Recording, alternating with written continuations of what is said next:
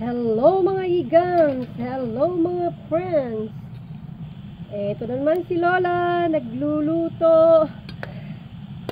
Hindi ko naman napakita ang ingredients niya, pero sa makikita niyo naman, ang aking niluluto, magandang tanghali po. Yan, sa kawali ko niluto, bongga kaday. Ito po ay adobo, alakon, Lola style, Lola Bells, Lola Miyazaki. Yan po. Hindi ko na ulit siya ginisa.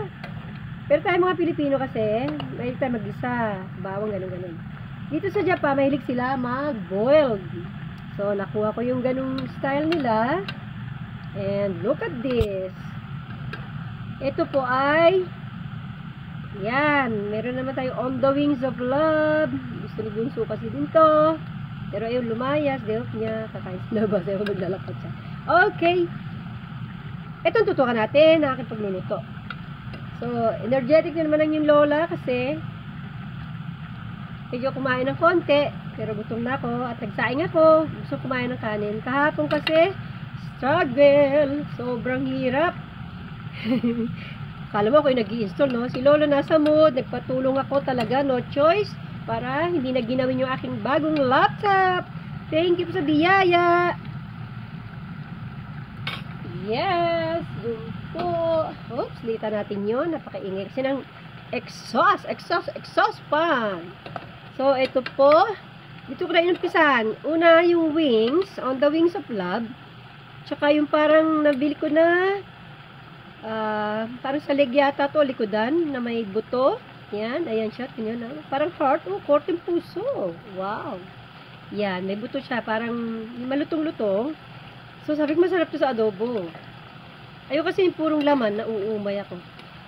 Yan. Una, binuwald ko muna po ang ating On the Wings of Love.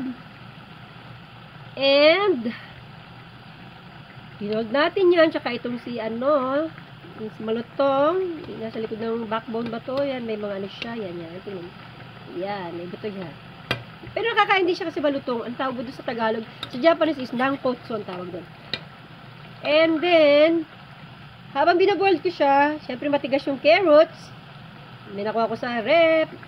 Natitirang gulay kasi hindi kami nag i Kanya-kanya kasing kain. Kaya, okay, gamitin mang kung ano lang meron. And, eto pong carrots, syempre, pagka-boiled na nito, matigas ang carrots, sinama ko na rin siya. Yes. So, so dalawa na yung ko. Ayan, tingnan nyo, oh. And then, sumunod dyan ay yung sibuyas at bawang at luya. Wala pa luya. Pero totoo niya, pwede maglagay ng luya sa ating, pag may kasama siyang atay, lagyan niyo po silang luya, dikdikan niyo, lit, litan yung hiwa. Maliliit lang siya para hindi na siya makita ng mga bata.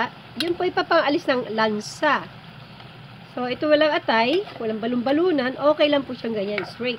So, ayan, i-bold ko na siya. On the wings of love. Yung nangkotsu, yung kayang chicken na may bone ng konti, na malutong, na pwedeng kainin.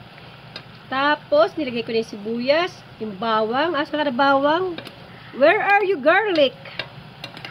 Oy, show me, show me, naasan ka na? Yan. Uh, malalaking hiwa niya. O, pinitpit ko muna siya, tapos iniwa lang sa gitna. So, may bawang tayo ngayon, no? And then, Ikaw sa sili, yung dried na chili. Hindi naman yung manghang kasi parang pampalasa lang. At laurel. Laurel, pampabango. At buong paminta. Yan. Buong paminta. Wall, wall. Whole, wall, bilog. Tsaka, dinikdik na paminta. So, ang pamintang ito ay ito po siya. Yan ang ginagamit ko. Yan. Stir of spice. Yes. And then, then medyo naglalasa na siya. Ayan po. Ilagay ko na yung toyo. Yun, nagdayo ng toyo ko eh. Philippine toyo po yun. Yung soy sauce. At saka may dato puti akong suka. Yan. Yung suka na ilagay ko na rin kasi medyo malambot na siya. Ang, ang totoo yung nahuliho yung suka. Iba, inuuna na. Pero ihuli niya sila o kaya patayin mo na yung. Pero sa akin, okay na rin ganun. Diretso lang siya. Maraming technique kasi. Yan po ang style ng lola. So, malambot na yan. Ayan, ganyan, ganyan style. Pakuluan ng pakuluan. Napakalasa na. And, nag-add po ako ng konti pa ulit na, yun, mayroon siyang buong paminta. And then, ito po. At konting bechin. Ajinomoto. May ajinomoto naman ako. Gumagamit din po. Ajinomoto. Eh, yan. Diyan daw ako pinaglihi. Yan po. And, kahit may toyo na siya, meron pa rin tayong stars of spice. This is Himalayan salt. Oh, baka pumunta pa kay Himalayan bago kumalang asin. Joke. May tinda pong ganito. Yan. Sarap po yan. Ayan. So, may dalawa tayong ganito. Ayan siya. Yes! So, siya. Lang ating paminta at asin. And then, ako po may, ano, yung parang kak, uh, aji kakushi. Ito yung naman ako sa aking mother. Sinanay na kusinera din. Hindi talaga magluto. Naglalagay po ako ng, ano, asukal. Uh, red sugar. Naglalagay tayong sugar. Pakita natin sugar. This is the red sugar. Ayan, konti. Yan. Ganyan po ang style. Para manamis-namis siya. O, konting tikim-tikim na tayo. Yeah, kutsara. Mmm, yummy. Hintay, hintay na lang po natin siyang lumapot. Ayan. And then, liitan natin ang apoys. Oh, malitan na yung apoy niya, no? At, takpan ng takip. Siyempre, takip. Takip muna tayo. Oops! Oh, yehey! Takip-takip. Yan. And then, mag-timer tayo ng 2 minutes. 1, 2. Yes! Ayun timer ko na sa tok-tok. May timer po tayo. Para maganda. Para good vibe sa ating niluluto. Yan. Malit lang muna yung apoy niya. Yan. Ganyan po ang style ng lola. So, hindi lahat ng pagkain, ito lang po may bibigay kong tip. Tip or tips. Hindi lahat ng pagkain ay kailangan mo igisa na igisa. Saute, saute. No saute sometimes. Ang, ang, ang maganda dito kasi, i-boil mo na lang siya kasi yung ating, ano ba, manok, baboy, or beef, kasi sila, nagbibigay sila ng oil, meron sila kasamang, ano, mga taba. So, doon na lang tayo humugot ng mantika. Pero syempre, may pag-isa, ayan, ah, oh, meron akong ano, salad oil. Pero hindi, hindi ko ginamitan. Or may isa pa akong technique. Pag na, medyo maluluto na siya, tsaka ako lalagyan ng konting oil sa ibabaw. So, makintab siya. so, sisip-sipin niya yung konting oil. Pwede rin po yun. Mamaya, tatry natin ilagay. No, ilalagyan ko para makita nyo. So, ganyan ang gawa ng lola. Buksan natin ulit. Wow, ayun no. Yes, yummy, yummy. Kasi po, kita talagang mahilig magluto. Kahit ano siguro, kaya naman.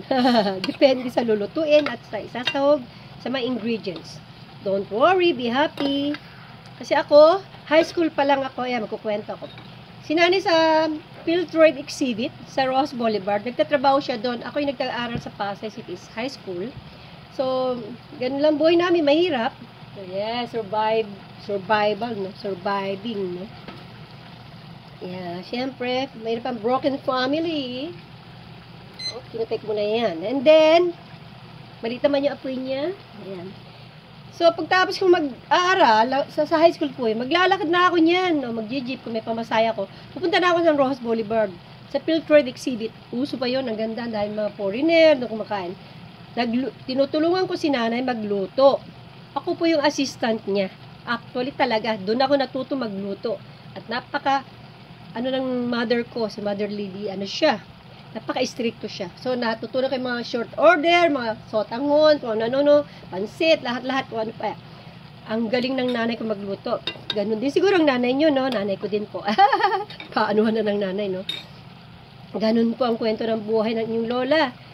Pero before that, kami talaga, bago si nanay magluto doon, meron kaming karinderya sa Malibay, sa aming tinitira na inupahan na bahay. Na isang tumpok na bahay lang yun, tapos may ano, maluwag na lugar. So, yun, kasi malinis, malinis yung sinanay, yun ang naan namin, umaga, umaga hapon, linis-linis, napapalo pa kami, ng magkapatid, ayaw niya na madumi, ayaw niya na, yun, masyado siyang ganun. Stricto siya. Tapang sinanay. sa bunot dito, sa, sa bunutan ako. Tapos, eh, ako siya makulit. Pakanay po ako. Tapos yun nga, ang nangyari, yung may karinderya kami, syempre, nagsara na rin yun. So, na- nagbabalot kami ng mga pagkain. So, ako, sawang-sawang magbalat ng kamay yung ano ko. Ang, pag dapat na magbalat ng carrots, tsaka potato, yung kamay ko, tinan nyo. Masyado yung kamay ko dyan. Yun, dun po, ang umpisahan ng aking kabanata. So, yung pagluluto, talagang ano, ako yung nag assistant ni nanay sa exhib- exhibit. Alala ko pa may-ari ng restaurant na yun ay may meron siyang anak na si Jomar Pogi. Sabi ko na hindi, parang ka- kapatid ang turing sa akin. Parang, magka, parang kami mga magkapatid lang naman. Yun, naalala ko, yun pangalan niya, alam ko Jomar yun. Itindahan din sila mga school supply, yun, doon kami kumukuha ng ano, inaaw sa sweldo ni nanay. Di ba, ang hirap ng buhay. Oh, bago ako nakapunta ng Japan. Yun po ang sistema. So, si nanay nagluluto, bilis niya talaga. Kaya, ayun, doon niya nakuha yung pulmonya. May hika kasi si nanay, lahi namin may ganun. Nako, promise. Sa sobrang sipag ni nanay, ayun. Ang dahil may papamana sa akin, yung sipag na sobra-sobra. Kaya ito ako ngayon. Parang kiti-kiti.